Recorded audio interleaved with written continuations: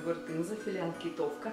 Мы сейчас с вами находимся в нашем небольшом музейном уголке а, под названием Музей старины имени Александра Александровича Корчагина. А Он у нас открылся совсем недавно, ему буквально два месяца. Он у нас совсем молодой, и он еще пополняется. Экспонаты в нем еще до конца не изучены. И сейчас мы как раз ведем над этим работу. Работу над изучением экспонатов, над пополнением материала в наш небольшой журнал, который мы сейчас ведем. Мы находим описание наших экспонатов в различных источниках информационных, в различных э, сайтах интернета, потому что, к сожалению, у нас информации о наших экспонатах совсем нет практически. Она очень минимальная. И сейчас я проведу небольшую экскурсию по нашему музею. Экспонаты представлены в нашем небольшом музее. Практически все 18 века. Здесь есть различные вещи старины, быта, начиная от чугунков и утюгов и заканчивая плугом. Вот здесь у нас находится вот такой столик. Здесь у нас представлена корыта и тяпка. Деревянный корыца. Современный человек вряд ли бы объяснил значение таких слов, как колган, колода, каюк или бадья. Но упрекать его в невежестве не стоит, ибо эти термины сегодня уже вышли из употребления. Однако еще сто лет назад любой житель села мог ответить, что все это название одной и той же вещи – корыто. Правда, у него были десятки предназначений. Цивилизация пришла к славянским племенам уже практически после принятия христианства, но их быт и ранее был налажен. Приготовление пищи, стирка, хранение припасов – для всего этого требовалось емкости. Глиняные сосуды были дорогие и непрочны, поэтому мастера выдалбливали ствол сосны или березы, делая в нем углубление. На обратной стороне получившейся емкости часто оставалась кора дерева. Отсюда и пошло название корыта. Деревянное корыто в быту у славян имело массу утилитарных свойств. Лучковая пила. Это инструмент для поперечного пиления древесины. Эту операцию может делать один человек и довольно продуктивно. Такое название гаджет получил от похожести на лук, не репчатый, а стреляющий стрелами. Современные лучковые пилы вообще сильно похожи на древнее оружие. Натяжка пильного полотна принципиально похожа на натяжку тетивы лука. Она так и называется – тетивой – Дедовские лучковые пилы, естественно, были из дерева. Основание имело форму буквы «Н». В нижней части вертикальных стоек крепилось пильное полотно, а вверху соединялось с плетеной веревкой, которую можно было скручивать косичкой при помощи деревянной палочки, вставленной посередине тетивы.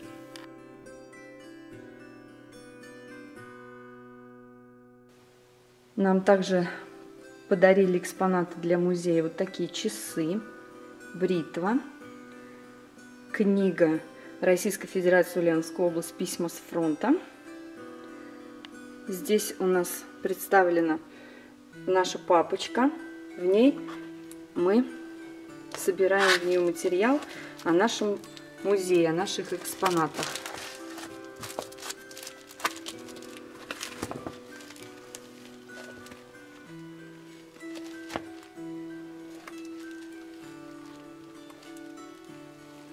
Папочка постоянно пополняется. Всюду, где на Руси были печки, были и хлебные, хлебная лопаты. лопата. Такое приспособление было даже у Бабы Яги.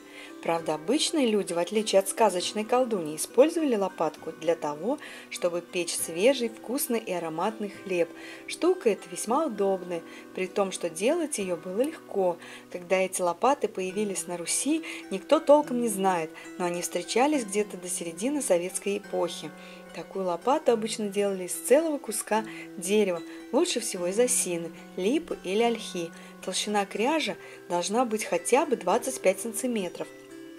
Правда, ствол еще должен был быть без единого сучка, а найти такой было не так-то просто, но если постараться, то можно было и обнаружить.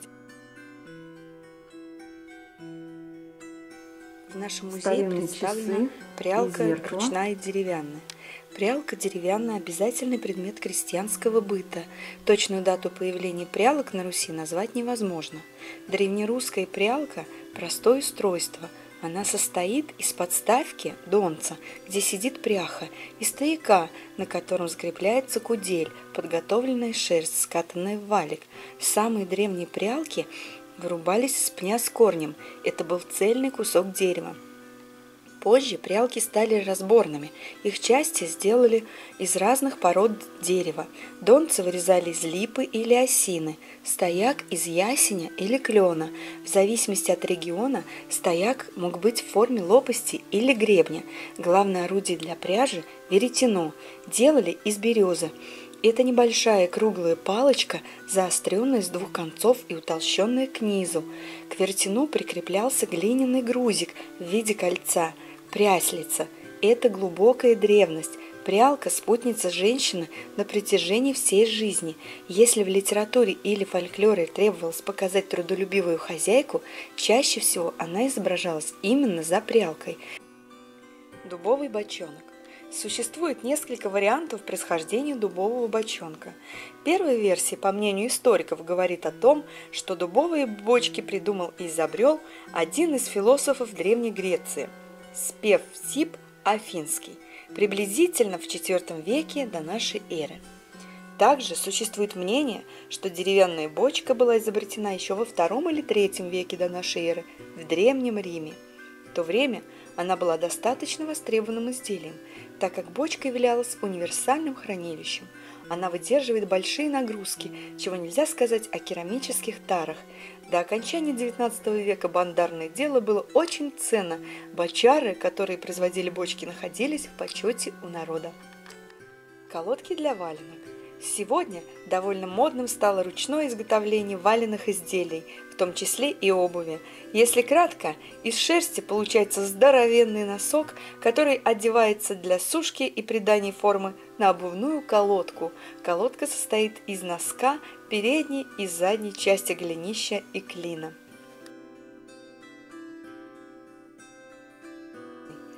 Скобель – старинное орудие плотников в виде прямого или изогнутого ножа с рукоятями на концах, предназначенное для сдирания коры с бревен и их первичного обстругивания, а также основная снасть для строгания вручную клепок при изготовлении бандарной посуды. Скобель используется для зачистки бревен при рубке срубов. После зачистки древесина становится светлой, без следов коры. Стены дома из сруба, обработанные под скобель, не требуют дополнительной обшивки и отделки и привлекают естественной красотой дерева. Тюрик для ниток – Одним из основных видов старинных русских женских ремесел было придение и ткачество. До изобретения механических ткацких станков производство ткани было кустарным.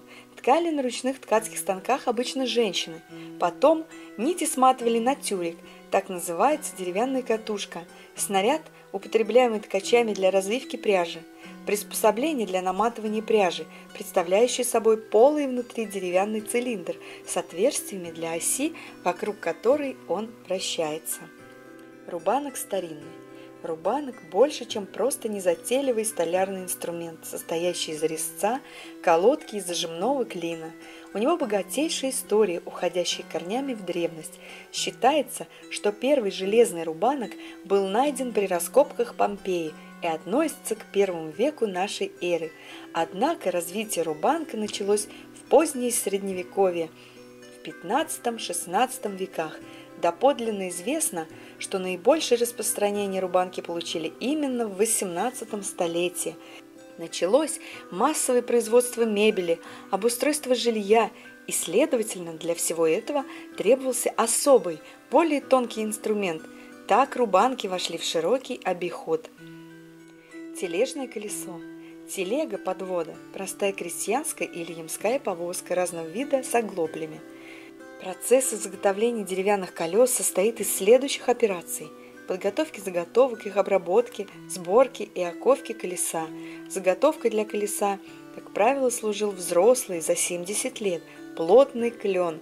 Дерево валили, затем нарезали на чурбаки длиной от 30 сантиметров до 2 метров. В таком виде заготовкам давали просохнуть, после кололи топором на косяки или разрезали двуручной пилой. Распаренные заготовки для деревянных колес сгибали на круге.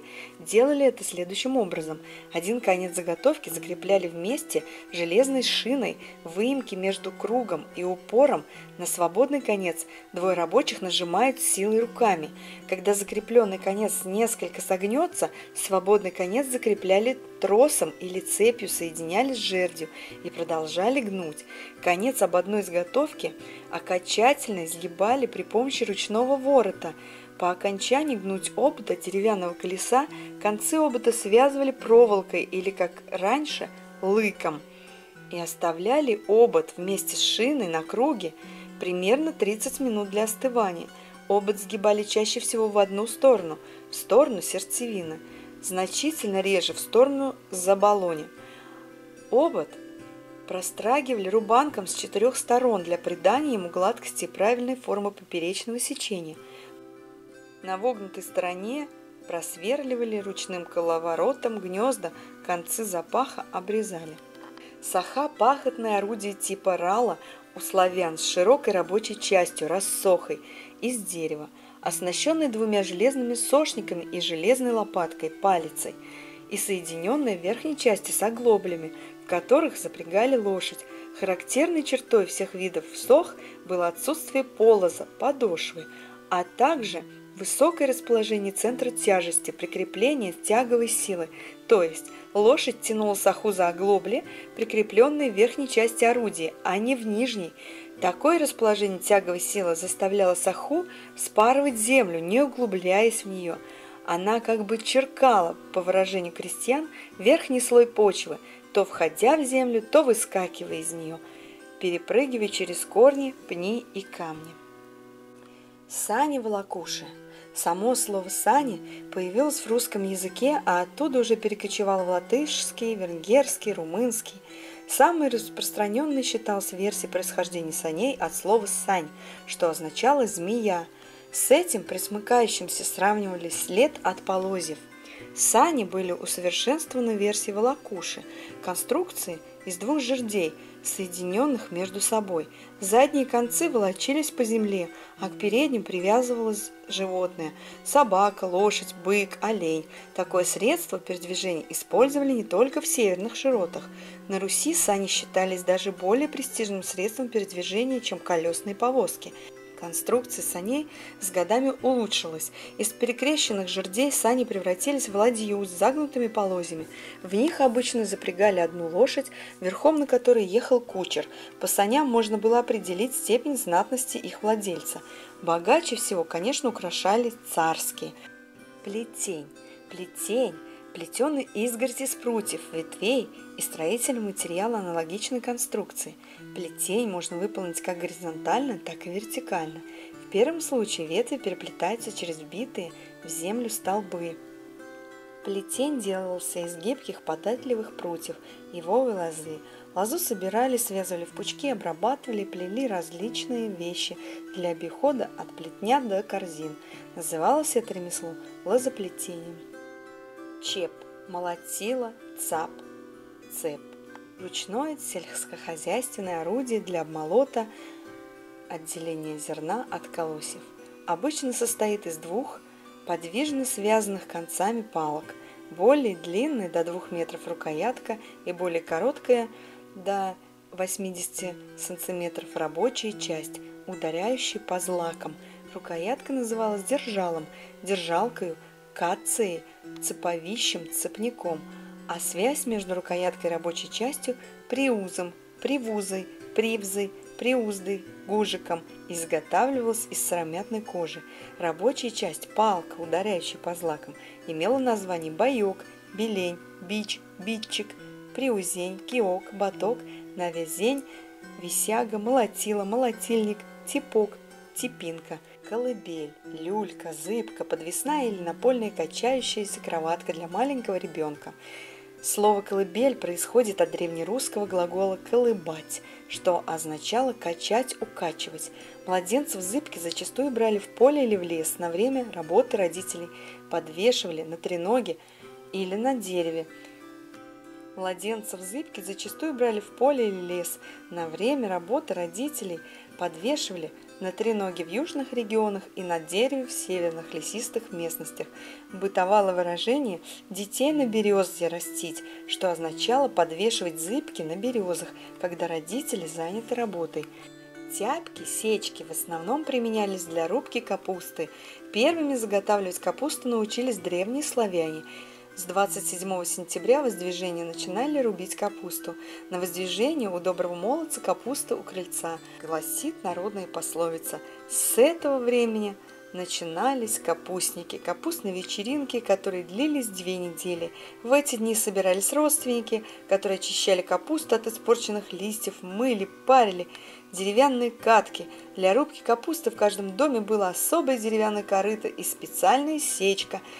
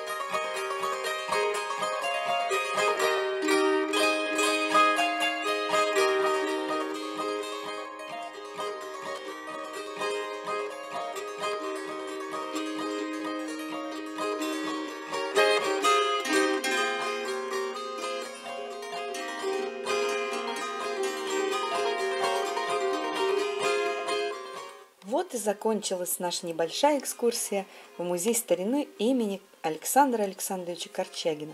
Открытие музея в нашем микрорайоне – это большое событие. Это еще раз подтверждает, что не хлебом единым мы живы, что духовные ценности выше других ценностей.